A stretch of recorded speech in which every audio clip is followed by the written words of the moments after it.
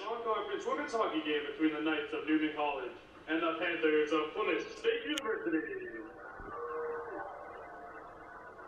At this time, let's see the starting lineup this next game. First for the Knights of Neumann. Starting in goal, a senior from Meadville, Pennsylvania, number 42, Julia Fair.